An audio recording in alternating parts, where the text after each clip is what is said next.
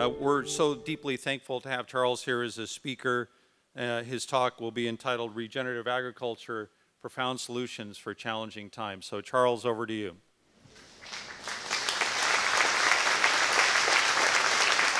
Morning, everyone.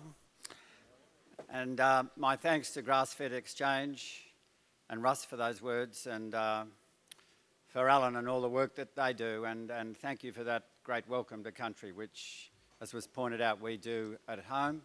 And I think it's important as a reminder for us as landscape managers uh, to remember uh, why we're here and how we got here.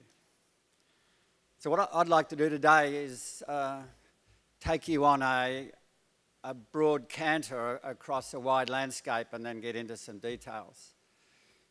Because the, uh, I think the great issues confronting us as a society, as a planet, and with human health, we collectively in this room provide many of the very best solutions to those major challenges. And that to me is incredibly exciting. And I just want to walk you through, through some of those issues. if we can get it to work.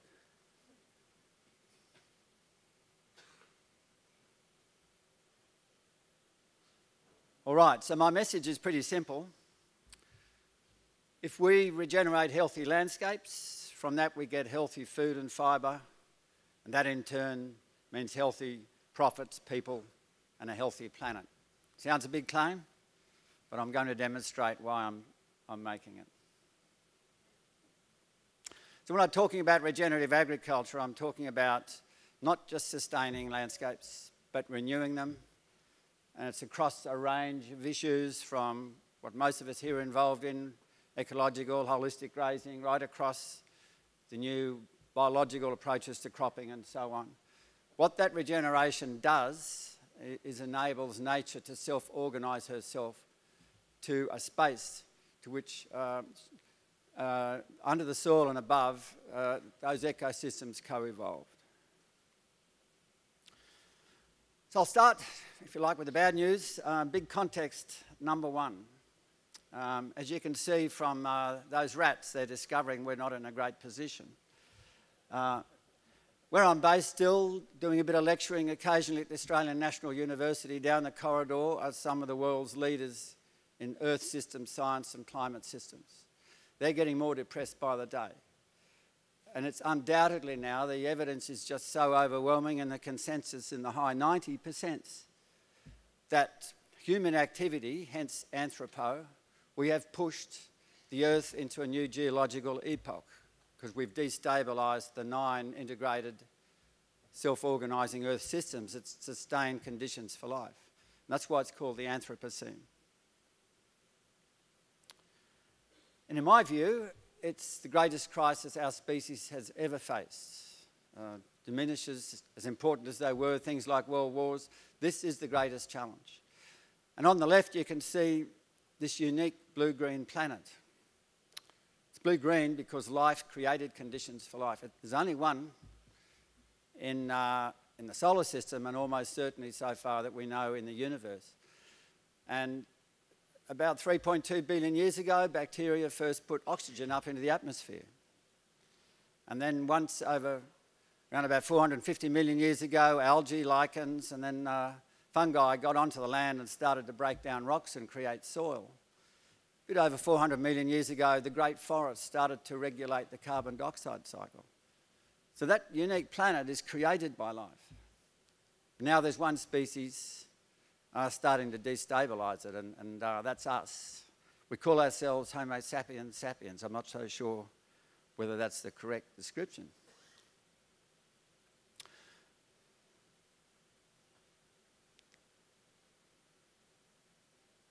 It's all right, I'm the wrong date of birth for this sort of technology. Um, why we've got into, the great, into this Anthropocene dilemma is what's called the Great Acceleration post the Second World War, 1950s with the rise of industrial capitalism and then the lunacy of economic rationalism, growth for the sake of growth, which means endless destruction. A whole lot of social phenomena on the left in orange, whether it was population or GDP, uh, the rise of McDonald's um, and fast food outlets, whatever, uh, they all sort of went off on an exponential curve. And same on the right side, the Earth system trends, whether it was uh, uh, different chemicals being put into the atmosphere, destruction of biodiversity, overuse of water. And that's what's behind this Anthropocene dilemma. And as you can see, this is uh, the fourth largest sea in the world, bigger than most of your Great Lakes. And industrial agriculture for cotton, in this case, uh, ended up draining entirely uh, and polluting uh, that huge area. So we humans are pretty good at destabilising systems. I'm not going to go into the detail, but these are the nine integrated Earth systems that we now understand that maintains the conditions for life. Some of them in red into really dangerous territory. But the ones I want to point out are, are the, ones directly in the biophysical area of climate, biodiversity, land systems change, freshwater use, and the integrated nitrogen and phosphorus uh, flow boundary cycles. The evidence now, and a huge amount published, will show you that its industrial agriculture is a major, if not the major player, in destabilising those six key systems. But there's a converse to that. If industrial agriculture that, has done that, the flip side is regenerative agriculture can undo and heal it. And to me, that's the great grounds for hope. Uh, we can pull down the carbon dioxide, we can address uh, biodiversity and other issues. And uh, that's what's so exciting about this space. So, how do we get into this mess? Uh, you'll notice I've put a hyphen between agri and culture because it's, as one farmer said, it's this dangerous square foot of real estate between our ears, our, our worldviews and attitudes, how we farm and how we treat earth. And uh, so, one of the things when I look at our landscape at home and talk to a, a senior Indigenous lawman, what you would call a medicine man who has collective memory, Within about three decades, our country was settled in the 1820s, where I live, a, a lovely temperate grassland. And through overgrazing and then later ploughing, we destroyed what's called the small water cycle, that really important local cycling of water, where plants transpire and you get mists and fogs. And when the white settlers and surveyors came in and their, their records, a bit like yours here, that the grasslands were hugely diverse and spongy, and there's uh, records uh, that, that, even on summer days into midday, there was mists and fogs. You went for a ride on a horse, you, your legs were soaked from the knee down. Within decades, that was all destroyed. Uh, grasslands set stocked and disappeared, incised creeks draining the lifeblood out of the land. And there's an important historical precedent we need to think about. Our form of Western agriculture evolved in the Middle East in what's called the Fertile Crescent, that green crescent there. Uh, today's Iran, Iraq, those sort of countries. 10 to 12,000 years ago, when they domesticated those weedy annual plants called cereals, from which our modern cereals have come, etc., and they domesticated sheep and goats. You had beautiful, healthy, diverse grasslands, you had rich alluvial flats, and much of the Mediterranean was forested. And then over time, that was all turned into desert, the process of desertification. And here we've got even Plato having a good complaint, 360 BC, how the hills around Athens had been eroded and it was like the skeleton of a sick man, all the fat and soft earth having been wasted away. Look at that country today Iran, Iraq, Syria, Libya, top end of Africa, the Sahel, Chad all desert, all in constant drought, and huge social conflict. And when I travel widely across Australia, and I suspect it applies partly here, our landscapes, due to a brief European settlement, are on that path of desertification to different stages, some of it already like the Middle East. And, and we're just not seeing it.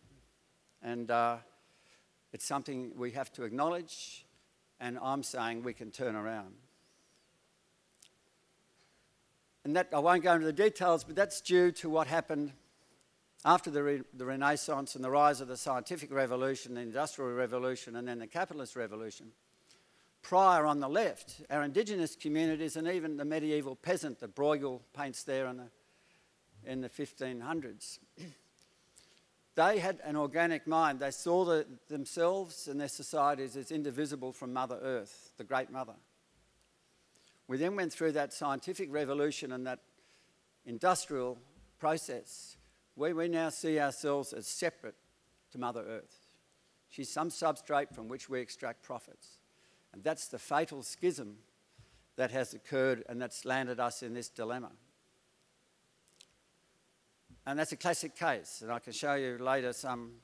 We're, we're as good as you guys at doing this, but that was once, as I understand, tall grass prairie, uh, overgrazed, and then the plough was put into it, and that's classic process of desertification.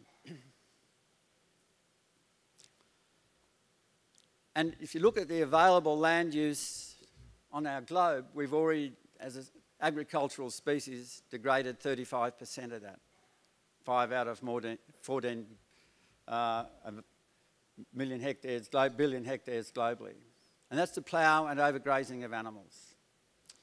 So, answering those questions there, yeah, we've got it wrong and, and we, but we know the solutions. And so I'm arguing very powerfully we are in denial about this desertification process. We just can't see it or we don't want to acknowledge it. And our ongoing industrial practices are exacerbating it. And so there is another way, and that's why we're all here today. And, uh, and that's why I, I state we can, through regenerative agriculture, heal these issues and people at the same time. And that's what we're going to hear tonight from uh, the wonderful Zach Bush. If you want to put it in one slide, that's it. Regenerating this extraordinary life underneath, which then relates to the life above. And that's our healthy soils. So we can, as I said earlier, restore our farms, soils, ecosystems, and profits but not with monocultures of plants. Nature isn't up to monocultures. But with multi-species cover crops, perennial cover crops, uh, many of which you are familiar with, and those diverse perennial grasslands. But all those three practices optimally need animals regeneratively grazing through them to maximise that. So let's get on to the solutions. um, and I can tell you from painful experience, the first step really is for us to, to, get some ecological literacy, which is to understand how landscapes function. So, our current industrial paradigm is that, if you like, nature's the enemy. We've got to dominate her, control her, which led to all those problems. That picture on the left is an advertisement for glyphosate, Roundup about six years ago in the big national daily, weekly dailies, rural dailies across Australia. An aggressive white pointer. The Roundup drum, if you look closely, is a sexy face with big eyelids, smiling face. You've got to bear in mind the big multinationals employ psychologists to press the buttons on people like us. If you read the fine print there, it says, trust your killer instincts. My own journey was I had to leave university at the age of 22 when my father got ill and died and take over a farm. Having grown up there, I knew bugger all how to manage it. So I asked the best advice around, uh, best farmers, scientists, Department of Agriculture. I became a good industrial farmer, which meant I set stocked, I ploughed country, and for a year or so I used chemicals uh, across the landscape to put in pasture.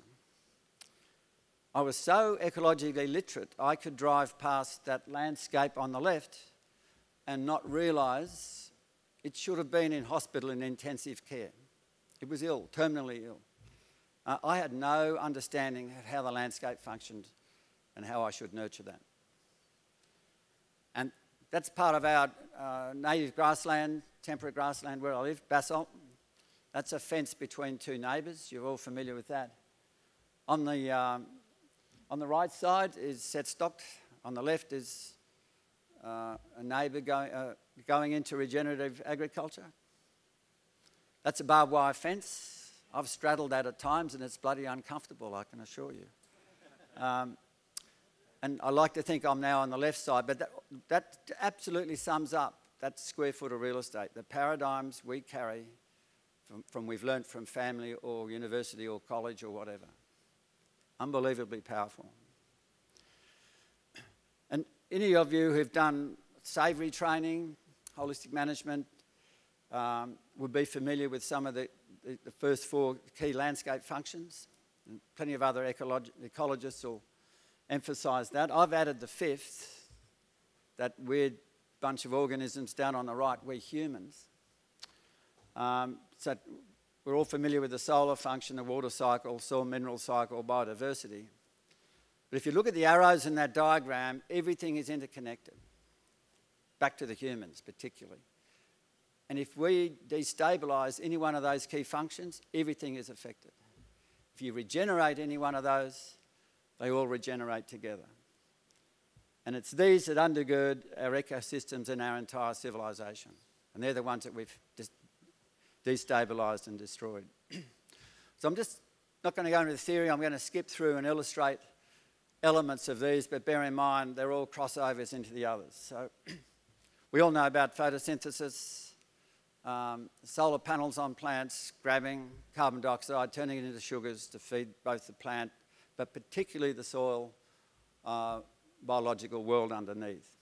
So I see my role as a manager is to stack on as many working solar panels for as long as I can on my ground, along with cover, for as long of the year as I can.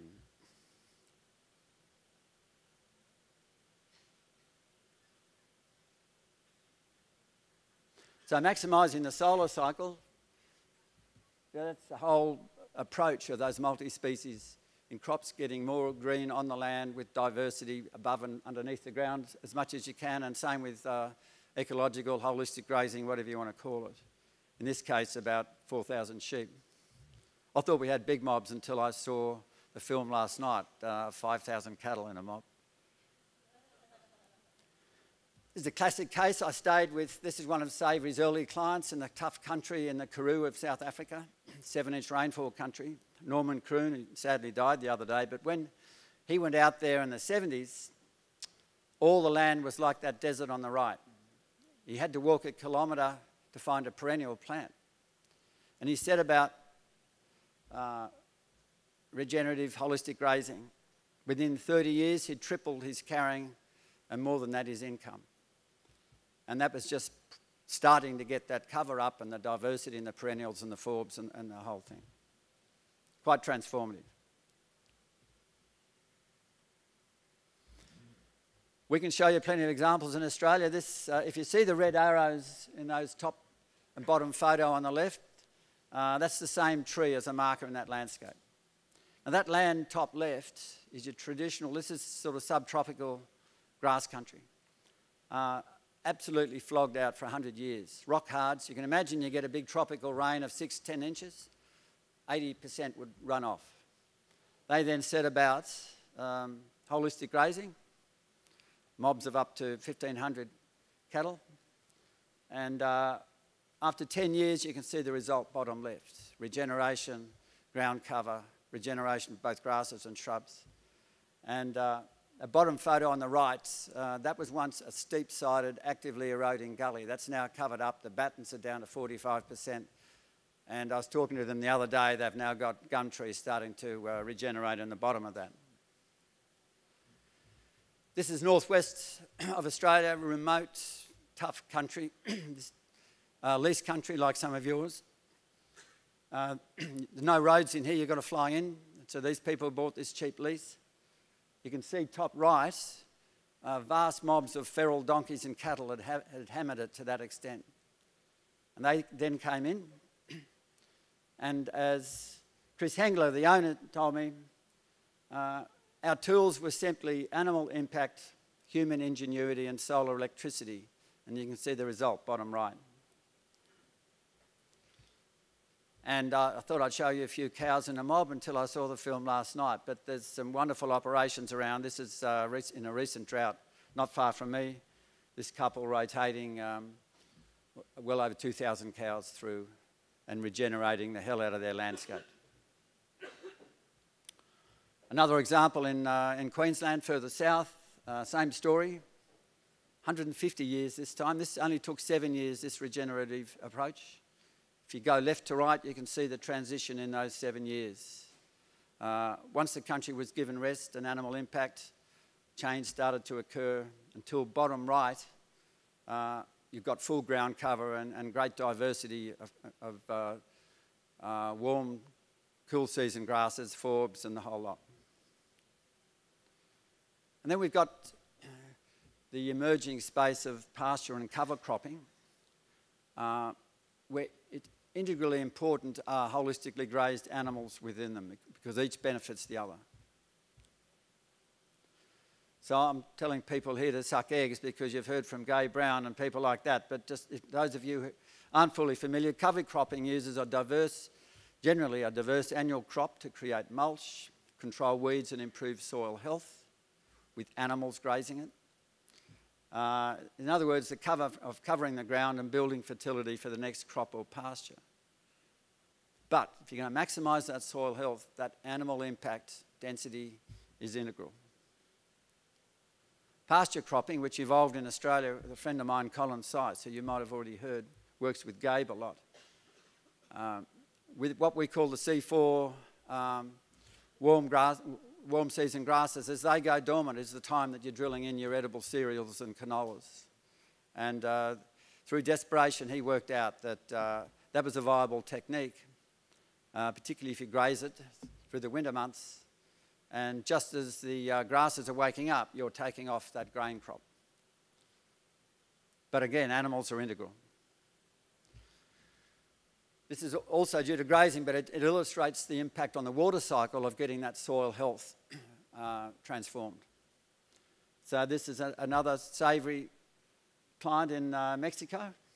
Um, 27 years took, or less than that, but that's the transformation. So that blue arrow in that, those photos is the same point in that landscape.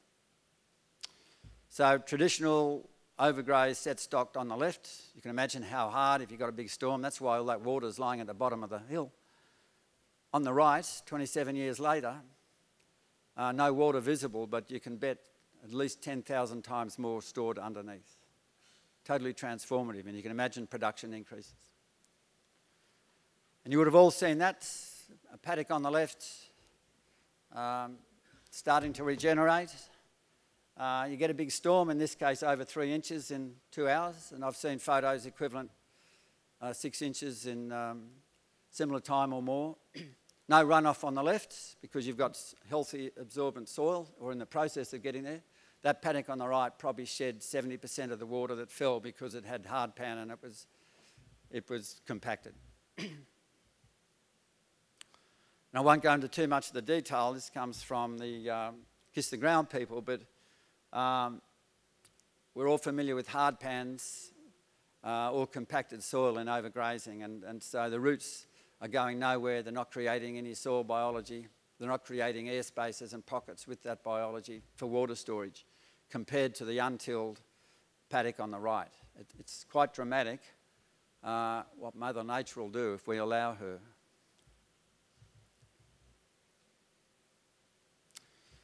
Something we, we forget about if we leave the soil bare, just how destructive rainfall itself can be.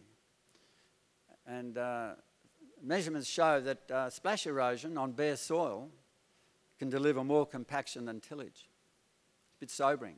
It's one of the many values of having cover laid down on your landscapes. Told you I was the wrong date of birth. Um, and this beautiful illustration of uh, prairie, your prairie diversity. All, of, all those things penetrating deep, doing different function. We then get in and start industrial cropping or overgrazing, end up with a hard pan not far down, particularly with the annual, short-rooted annual cereals. And uh, so you can see why uh, there's no water absorption occurring in those sorts of soils.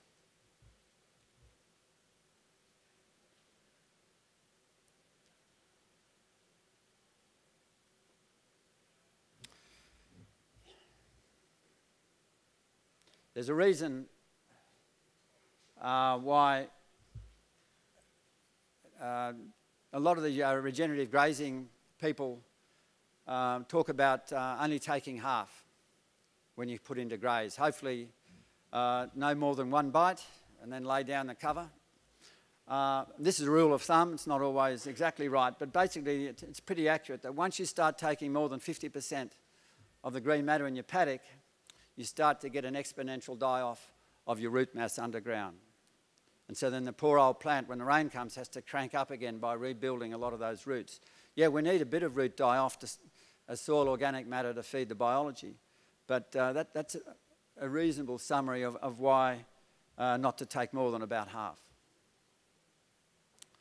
And this illustrates very well, it's photo from the Land Institute at Kernza is a prairie grass that's now for the first perennial grass is now producing commercial products.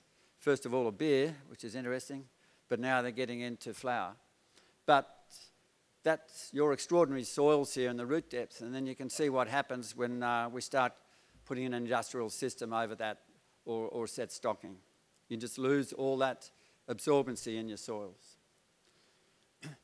And I won't go into this, but there's a whole other aspect of us managing landscapes, how we can slow water in our landscapes through uh, various methods I know you're good at here. Um, just putting intervention, what we call leaky weirs in Australia, so the water can still get through and not destroy your structure, but you start to hold water and material up and eventually you can raise your water table.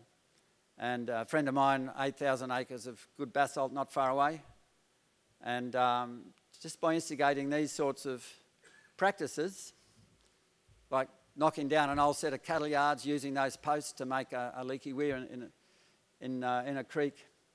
He's now got a perennial running creek which has risen about a foot. It's now going lateral. And one of the rarest species in the world, um, one of only three monotremes, egg laying mammals, our platypus, has now returned in nine pools in his creek. Third cycle is, of course, uh, one of the critical ones, the soil mineral cycle. And the key, of course, uh, is biologically living soil. I, I sat through university soil courses about 38 years apart. Second time round, they were still mainly teaching chemistry and physics, not much biology at all. It's completely upside down. This, this is the great secret. This world underfoot, this magic biology.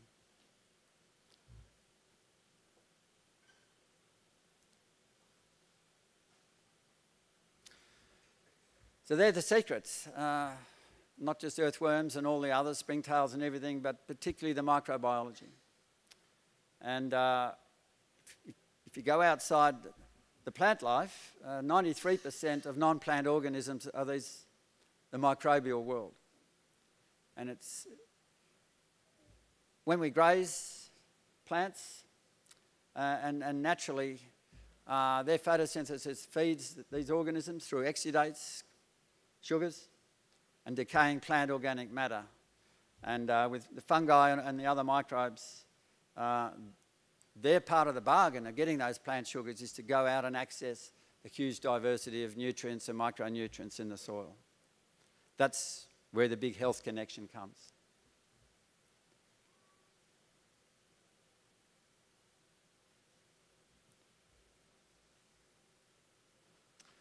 And really, uh, a, a simplistic analogy, but most of our soils are upside down icebergs.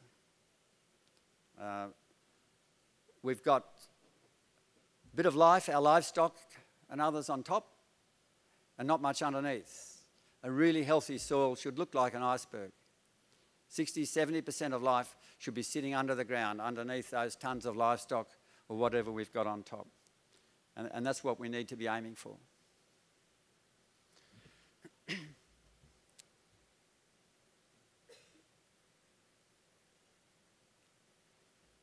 So I showed you your prairie photo. Uh, we're pretty good at doing that to soils. Uh, as a young and silly undergraduate, I used to do a lot of mountain climbing, and I was in New Zealand and encountered a huge patch of red ice on one of the glaciers.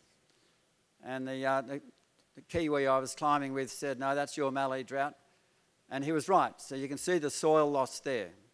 Millions of tonnes went off our, in a big drought, uh, went up to 4,000 kilometres and turned all the New Zealand Alps red. That's where all our, our, our nutrients and minerals ended up. Um, so we just haven't been treasuring them. And, and so it comes back to relying on this healthy soil food web to make access of those and make them available to plants, us, and our animals. And if you just look at one of the critical uh, organisms under the soil, the root fungus, the mycorrhizal fungi, you can see that photo on the left. Uh, there's not much uh, fungal activity and, and, and, virtually none of their micro feeding tubes, the hyphae. Uh, if you look at that photo on the right, in a healthy regenerative soil, it's vastly different. And research shows that in a really healthy soil, there can be up to, I've got 25,000 kilometres in a cubic metre, so about 15,000 miles of uh, these invisible fungal feeding tubes, uh, equivalent to a sort of uh, um, pickup truck, I think you call them. Um, the back of a pickup truck, it's uh, you know 15,000 miles of these hyphae in that sort of area. You go in and overgraze, plough, spray chemical, that's all gone. So, those workers that are accessing all the nutrients for healthy food, healthy animals, healthy plants, that's all destroyed. And you're left up in a cropping situation, for example, with your drug addict plants waiting for their NPK. So pretty fundamental stuff. And I won't belabor the point, but the, the root fungi are critical players in the soil because they harbour so many other beneficials. In this case, uh, attacking a, uh, a parasitic nematode with, with the hyphae. About 2011, I was driving across the head of probably some of Australia's best soils. Probably don't compare to yours, but these were rich alluvial basalt, uh, not alluvial, rich volcanic soils. And um, it was a dry season. They'd had about 30 odd points of rain the night before.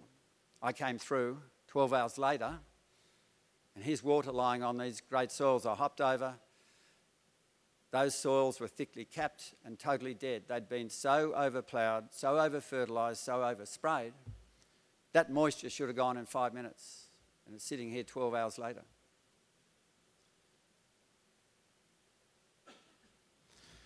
And there's another aspect if we take the cover off our soils and these precious organisms underneath. if you get what we've had a lot of in Australia in this recent summer, the temperatures over 40 degrees, you have bare soil that's equivalent to your 108 degrees Fahrenheit or so.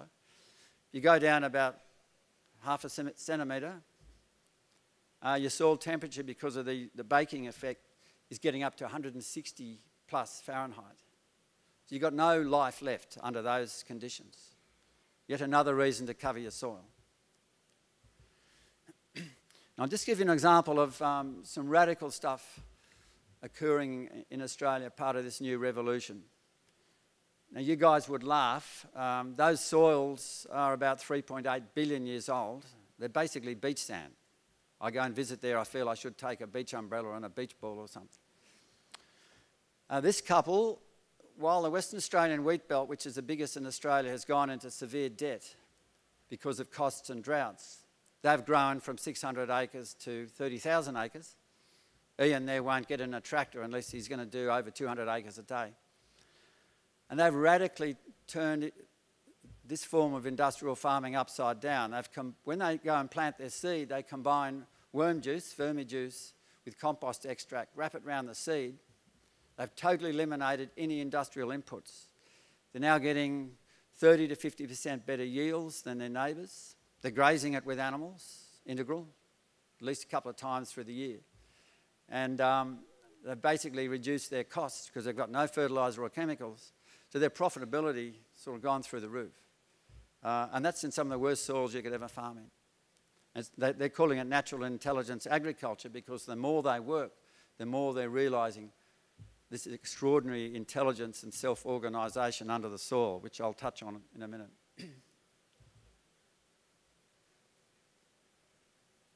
I should have had someone in their 30s doing this for me.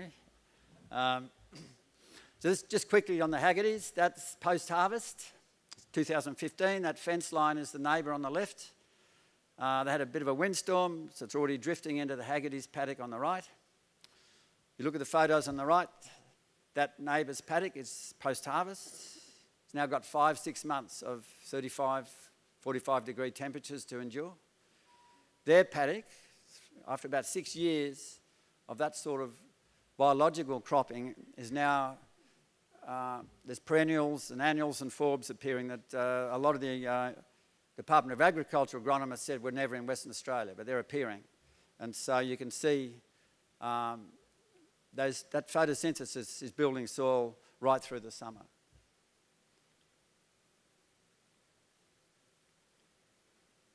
Look under the microscope and you've got dead soil with no biology. Same area, 40 metres across the fence. That's what the Haggerty soil looks like in those conditions. Beautiful sticky networks of glomalin coming off the mycorrhizal fungi, etc. And the result of all that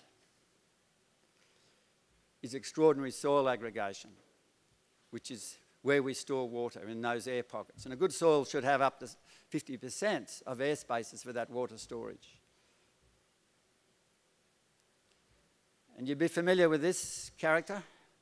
I was privileged to spend a few days with him last year, and um, he's working on these same principles and revolutionising cropping. And I know many of you work with Gabe and, and are using multi species cover crops.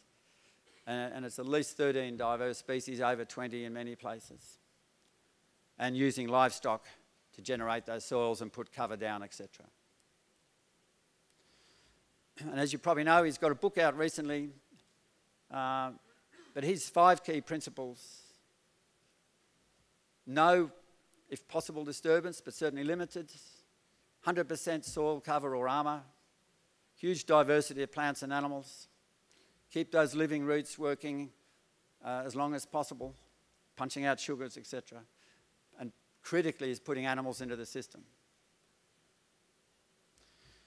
a few years ago, he, took, he went over the neighbour's fence, who's traditional industrial farmer, uh, and that's that clump of compacted soil is the neighbour's soil sitting on top of Gabe's soil. You can see the earthworms in the aggregation. That took less than 12 years, and, and I, my guess would be if you took a penetrometer out Gabe's would be sitting around about 200 psi. The neighbours would be at least 1,000 psi. So your chances of getting water infiltration and storage are next to nothing in that industrial soil there. And Gabe's infiltration tests, soil infiltration tests now show this. It's pretty simple to do an infiltration test with a bit of poly pipe. Uh, before he switched over, 91, his infiltration was about half an inch an hour.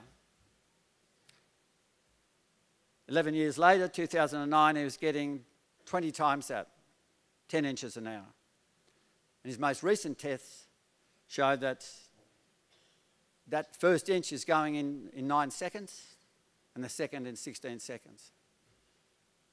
That's where the revolution's coming from in resilience and productivity uh, and water storage.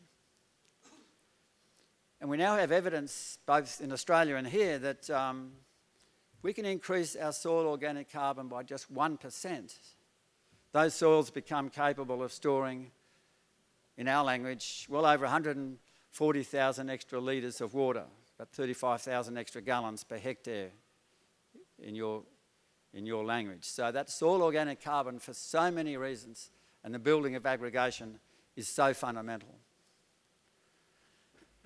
I'm going to skip through this quickly because uh, uh, Zach Bush tonight knows 10 times more about this and, and, the recent emergence of what's happening in the microbial world. But uh, I want to talk about some of the uh, newer thinking in quorum sensing and stuff, what's really going on under the soil.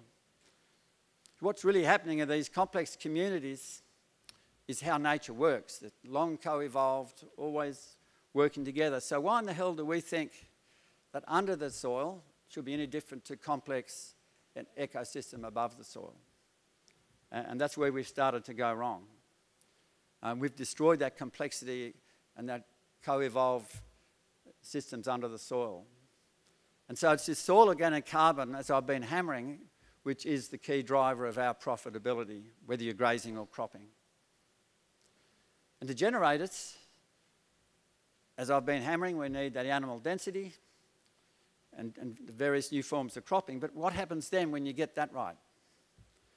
Uh, we get this remarkable self organisation under the soil. Uh, it sort of leads to a tipping point and these extraordinary results. And we're now finding that the uh, plants and the microbes are talking to each other. And you take that the next step. If we eat food off healthy landscapes, the gut microbes in our body are talking to us. They're switching genes on and off. So if you can comprehend that, across the whole life spectrum, we're all talking to each other, not with Latin or English, but with a common, a common chemical language. And to me, that's, that's just proof of how we've co evolved to be intimately integrated. And I'm not going to go into the details. Um, I've been given the sort of 10 minute wave. Um, but it, it's absolutely magic stuff that happens un underneath. And uh, this extraordinary tipping point that occur, occurs is called quorum sensing. When you get a, a, sufficient density of the microbes underneath, it triggers these reactions, this communication, and the switching on and off of genes that leads to this remarkable soil building. Um, and I'll just give you one example, uh, not just soil building, but just one example that uh, in, in, once you get to this stage, this critical mass, and the plant's missing a bit of nitrogen, it's sending in um, sort of chemical messages, hormones, in this case, uh, flavonoid chemicals. It's telling the soil bugs, look, I'm lacking a bit of nitrogen.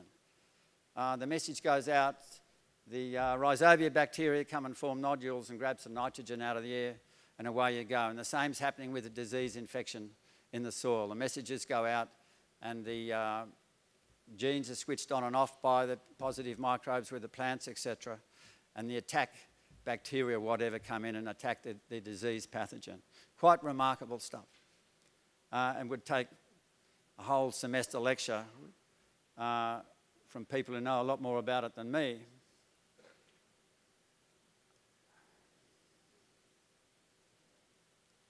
And that's just a quick example of how the messages come down. Oh, the plant says I'm being attacked by some sort of pathogen, let's say a virus. Um, once you get critical mass, the, the, the, the, defensive positive bacteria or whatever it is comes in and, and takes out those, those uh, disease causing um, viruses or whatever.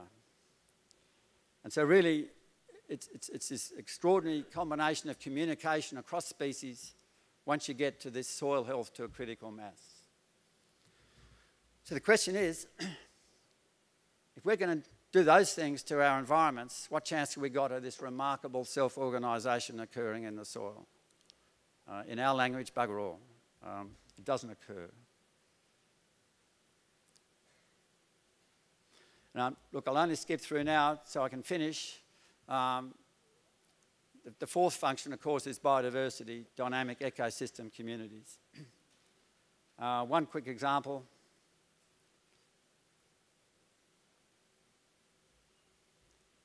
Uh, this family, we flipped into another system here. Anyway, I'll go back. Yep. Uh, on the left, they got down to only 2% of the original vegetation, natural vegetation. They were getting all sorts of problems dryland salinity, animal performance dropping because there was no shelter, disease attack of pastures. That strainer posts on the left there is the same post uh, that they're leaning on on the right. So that's the same point in that landscape. They brought the landscape back to 22% of vegetation. Despite taking out 20% of the land, their production's gone up 40%. Um, better animal performance, better lambings and calvings, less disease attack. They've also stacked in another seven enterprises, both from the agroforestry and cut flowers and, and, and farm tourism and that sort of stuff. So their overall income has gone their overall profitability has more than tripled. That's just working with biodiversity function. And there's all sorts of ways which I won't go into. I've had the privilege of working with Fred Provenza, who woke me up to the fact that I thought horizontally too much. We have a great capacity with a vertical grazing landscape, uh, shrubs uh, with both uh, nutrients and uh, with things like tannins that destroy anthelmintic attack. And um, there are tens of thousands of phytochemicals, micronutrients in, in, in shrubs, and, and uh, many of us haven't thought about that. And just quickly, uh, what are called silvopastoral systems, uh, animals grazing in, in a landscape where they get food off the trees, such as oaks, they've been around for centuries as well, and people are rethinking that, especially in treeless country as we get climate change. So quickly addressing the Anthropocene, I'll just wrap up. Um,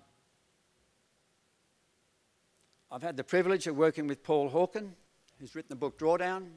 Got 70 scientists to analyse the top 70 methods of pulling carbon dioxide out. Seven or eight of them are regenerative ag, and I pointed out to him, if you call them all regenerative ag, by nearly two and a half times the next best method, we have the best solution to pulling down carbon out of the atmosphere. So we're number one in addressing that and many of the other key Anthropocene uh, uh, destabilised Earth systems, including all those that I listed before.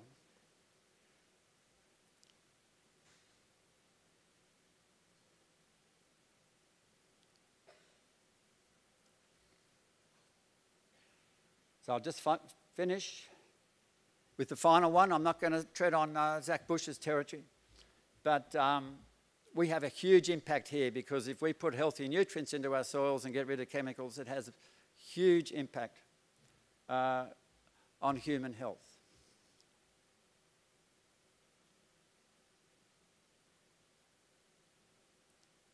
Sorry about this.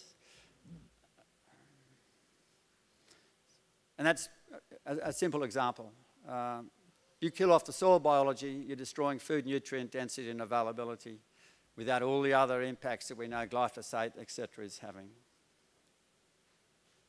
And that's just one of dozens and dozens and dozens of papers now showing how once industrial agriculture came in, the nutrient density and micronutrient density, mineral density in our modern foods have absolutely crashed.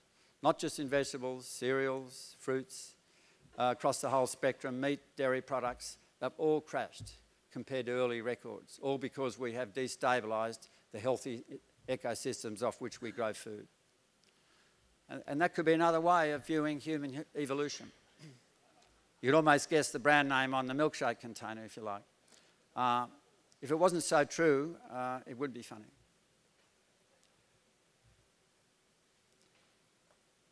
And of course, the elephant in the room is glyphosate. Uh, but almost certainly it's going to be banned, and then a lot of the industrial world will be scrambling. But uh, we now know we can farm regeneratively without it. And uh, I'll leave that to Zach, but its implications for things like epigenetics, where we pass on um, through succeeding generations, particularly on the maternal side, uh, our genes are constantly interacting with the environment, and, and that, that is now heritable because it's not changing the DNA, that interaction, but it's the switching on and off of those genes. And I won't go into that because I'll, I'll, I'd like to wrap up. So, my simple answer to the healthy food uh, issue is just one slide a healthy soil biology. So, in conclusion, that's dramatic, yeah. As a species and a planet, we are on the edge. Uh, but I think what I'm arguing today is that the approach of regenerative agriculture has the best solutions to planetary, environmental, and human health issues. So I'm not depressed, I'm very optimistic.